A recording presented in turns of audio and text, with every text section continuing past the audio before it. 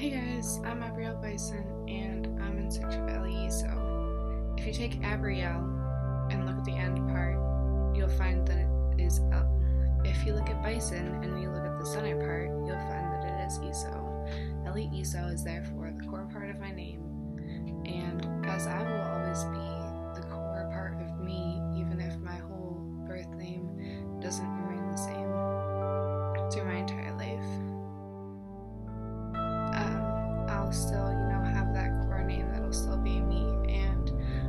sure who I want me to be, and this is my search. So, if you would like to, you know, go on my journeys with me and see the things that I think about and the inner details of my mind and my life, and you know, maybe get some tips on, you know, how to find yourself or live your life, then keep watching because I would love to do this with